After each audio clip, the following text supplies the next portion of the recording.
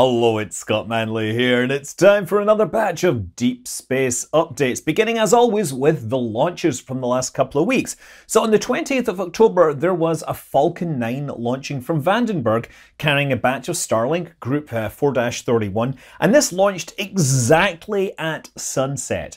And that meant it was pretty visible. For me, uh, I was slightly further west, so the sun was still slightly higher up, but I saw a very easily visible trail extending up into the sky, and I could track the second stage. But uh, people in Southern California, the skies were starting to get dark and it was very easy to see the second stage. It was launching into like the usual 55 something degree orbit. So after dropping the second stage, it actually made a dogleg turn to the east. Uh, people in Arizona had a very easy view of it as well. On the 29th, there was a Long March 2D launch from Jiuquan.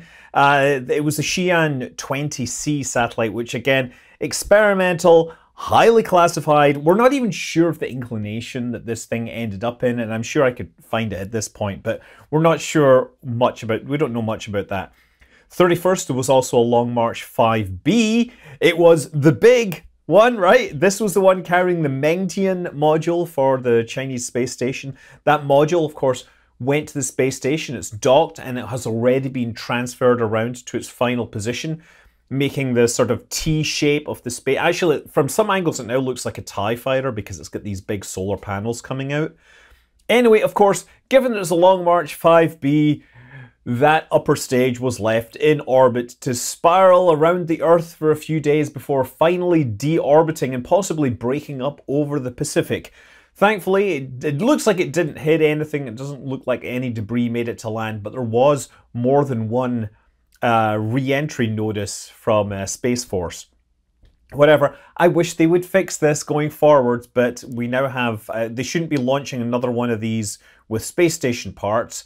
Instead, they'll be doing other stuff with it. On the 1st of November, we had the spectacular Falcon Heavy. That's right, we haven't had a Falcon Heavy launch for a few years, and they're getting back. They finally get some missions lined up for it. This was USSF 44. It was their first Department of Defense, you know, national security mission, carrying a whole bunch of test satellites, I believe, up into geostationary orbit.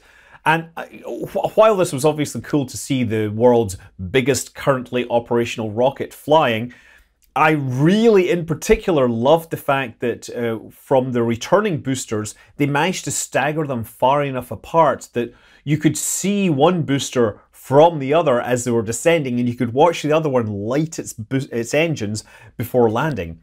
Uh, unlike other Falcon Heavy flights, this one intentionally expanded the core, so they returned the boosters to the launch site and the core went and continued out and you burned up in the atmosphere far out over the Atlantic. And honestly, that's what you really need to do with the Falcon Heavy to really maximize its usage. Right, trying to recover that core is, is hard and it doesn't really give you that much of an extra advantage over a regular Falcon 9. Moving onwards, on the 2nd of November, there was a Soyuz 2.1B with a Fregat, um, you know, a ferry stage on top, launching from Plesetsk. This is carrying an E6, uh, EKS-6. Basically, it's a missile early warning satellite that sits in a Molniya orbit. There's, uh, I think there's six of these actually, and they're set up in such a way that there's always one up high over Russia that it's able to look for potential, you know, launches uh, and whatever. 3rd of November, we had another Falcon 9 carrying the Hotbird spacecraft, Hotbird 13G. If you remember, we had 13F last month. Uh, this is for Eutelsat and it was launching to geostationary uh, Earth orbit. 4th of November, there, we got Electron. Yes, an Electron.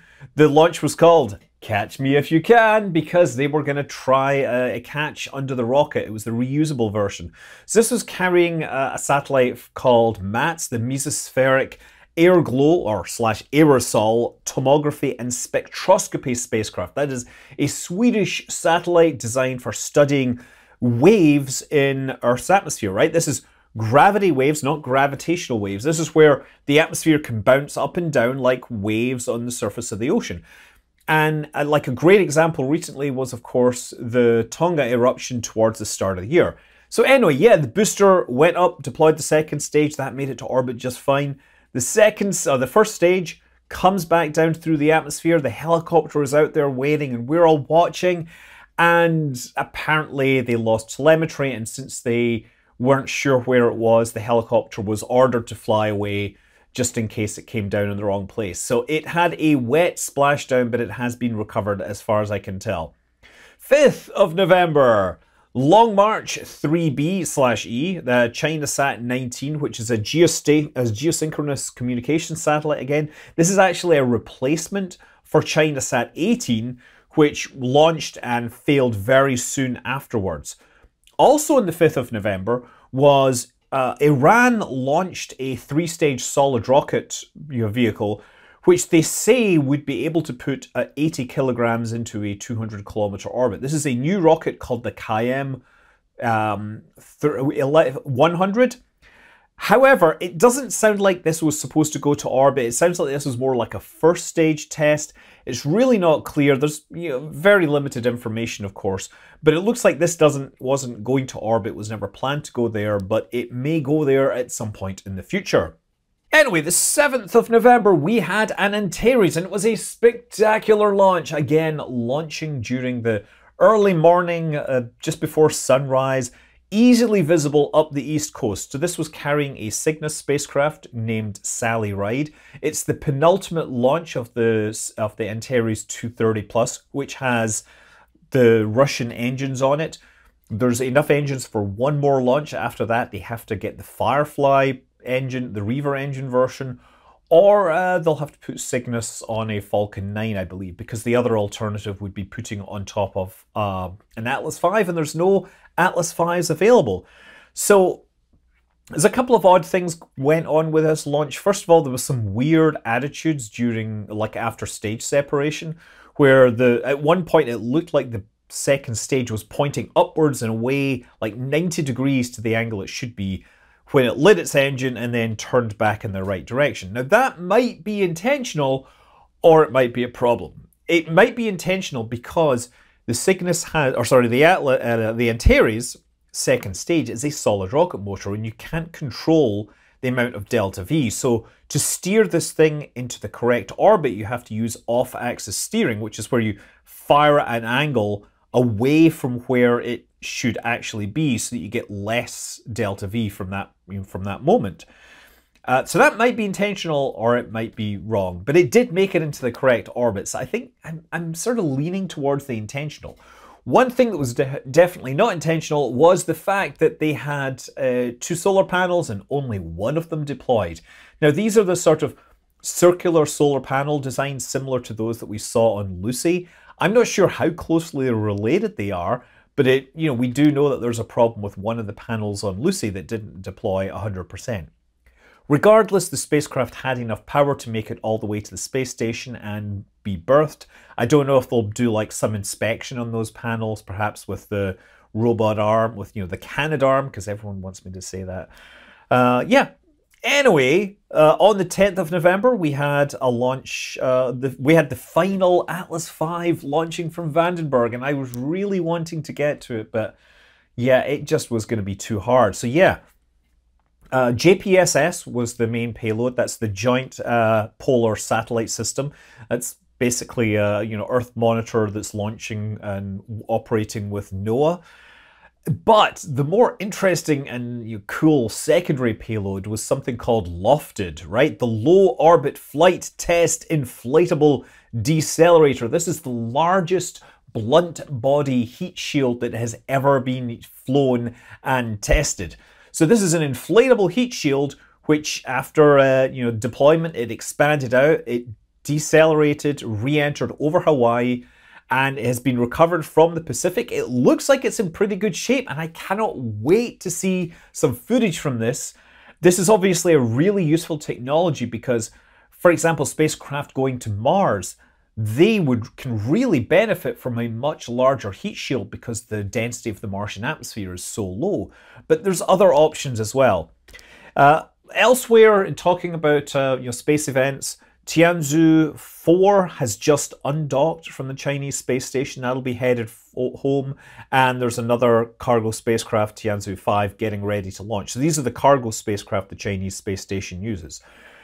SLS It rolled out to the launch site last week in preparation for a launch next week.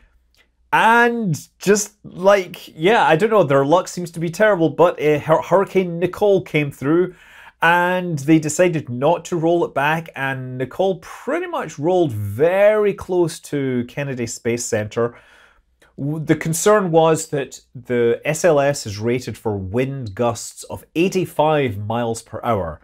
And some of the sensors that people were reading were saying 100 miles per hour gust. But according to NASA's spokesperson, the most they recorded at the SLS site was 82 miles per hour, and they are going to have to do a bunch of inspections and make sure that everything is working. But during the whole uh, wet, bad weather situation, uh, all the maintenance procedures continued, you know, all the purges and stuff to keep it primed and pressurized. So they're going to do an inspection and then it's pretty likely they'll try to launch it next week. Um, Astra, Astra came up with their you know third quarter earnings, and yeah, they're still not making money. They have a lot more orders for their uh, like electric space engine, which is going to be used by satellites. They're laying off 16% of their staff, but they did show a really cool video about their space launch system too.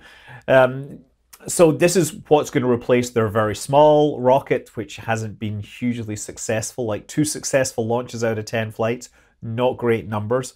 Um, yeah, the video shows like a test stand, which I noticed, by the way, is at Atwater, which is one of the, it's next to Castle Airfield in uh, you know, Merced, which is a place I've flown into. So next time I fly there, I'm going to have to look for this engine test cell down there. They also talked about the second stage engine, which we don't know. We know the first stage engines are almost certainly Firefly Reaver engines, based on the numbers that we've heard and the fact that we heard from other sources that there was a deal. The upper stage engine is going to be £6,500. I don't think they're building it internally. It could be a match to Ursa Major, who have a uh, Hadley engine, which is a small one. That's an option, but we're not really sure what's going on just yet. Okay, over at JPL, the Psyche mission is going to move forward. If you remember, it was getting ready for launch on a Falcon Heavy this year, and then it was cancelled about a month beforehand. Uh, there has been a fairly large and damning report from NASA's uh, investigative people basically saying that JPL didn't have enough people, enough skilled people. It was not, it was dismissing problems because they just didn't have the people to look at them. Yeah, they were they were not happy with this, but Psyche is going to continue. However, the Veritas mission is being suspended for at least three years until all the other stuff gets out of the way. Now, JPL are handling a lot of stuff. One of the big things they're, of course, looking at is the Mars sample return. And that is almost more important because there's a timer on that, right? There's many other moving parts and other countries that will be involved in that. So they can't really, you know, they have to reduce the load on JPL by the sound of things. That's what NASA seemed to be saying. And and by the way, yes, also gotta remember tonight apparently they're having a premiere for a movie called Goodnight Oppy, and this features a lot of people from JPL, many people I know, and you know, it's great to see Doug and friends on screen. This is a big screen, big budget documentary about the Mars exploration rover Spirit and Opportunity, and I've watched this on a screener, and it is amazingly high quality. This is like, it's, it's Amblin Entertainment, which is Spielberg's company. It's got VFX work by Industrial Light and Magic, and it just has all these great stories from the Mars Exploration Rover program. And of course, you know, really tugs on the heartstrings towards the end, right? Uh, yeah, uh, it's going to be coming to Amazon later in the, uh, I think in December. And I have an interview with the director coming really soon. I, I really like the movie. I'm, I'm so glad that somebody decided to make something of this quality for this story. Coming back to the Jet Look other space news, Bob Behnken today announced that he is retiring from NASA. He's been there for 22 years, and I guess it's worth mentioning his retirement because he was one of the first people to test fly a Dragon. He flew to the space station on DM2. Uh, meanwhile, over on Boeing's side, it looks like Starliner's first flight has been delayed further until April of 2023, which means now that SpaceX will fly all six of their basic Dragon crew flights before Boeing even completes the testing of Starliner. That is unfortunate, but uh, yeah, clearly they have work still to do. The FCC uh, chairperson announced that uh, they're going to spin off a new bureau for space activities, which is, you know, basically a way of reorganizing around the fact that they're having a lot more work coming in from space sources.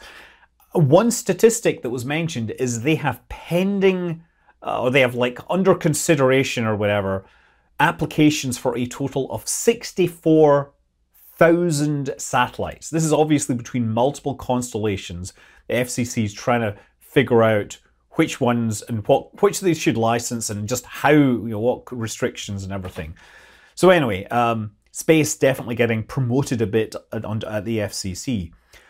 China, they still have their space plane in orbit. If you remember, it launched a, a couple of months ago. It raised its orbit recently and then it deployed something, and we're not sure what it deployed. When we saw it deploy, there was a lot of people thought, oh, it's going to come home because that's what happened last time. It dropped a service module and then landed. But the landing window has came and gone and it is still in orbit. Right now, the the windows so the windows come around every like three days when the the you know runway lines up with the orbit. But for the next you know three weeks or so until we get into December, this will always be at night, so that may not be the time they want to land their autonomous space plane back on Earth. So it could be December at the earliest before we see it land. Honestly, I don't know. They don't tell us anything. Uh, NASA, on the other hand, told us all about Starship, right? All sorts of details on what their the current status is. So uh, Raptor production has apparently reached a cadence of one engine per day, which is pretty good in terms of you having to fill out a, an entire Starship um, super heavy booster. They have a plan for like for getting the first orbital flight test. You know, they know the various steps they need to do. Today or a couple of days ago, they took Starship 24 off of the top of the booster and uh, the booster did a spin prime test today. We thought it might have a static fire, but it didn't get that far. So yeah, according to NASA's document, we expect that they could potentially fly as early as December, so I'm going to say February just to make sure.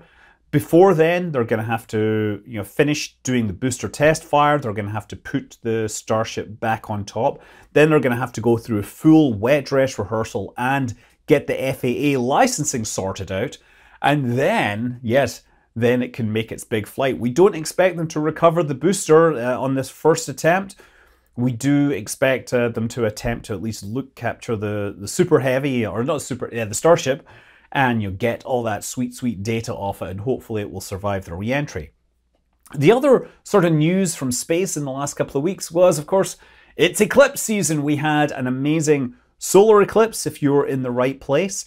And that was also the day I did my first night flight. So I, I flew on the darkest possible night of the year. and, and, then uh, and yeah, we had a lunar eclipse a couple of nights ago, which of course meant that it was cloudy here and I didn't see anything. But there's been some great photos from all over, including uh, some nice photos of SLS sitting on the pad next to the full moon. Obviously, sorry, next to the eclipsed moon. Obviously, a few days before the hurricane come through and uh, with all its clouds and everything. So that's the news for the week. A couple of weeks actually. and uh, I'll, I'll see you guys around. I'm Scott Manley. Fly safe.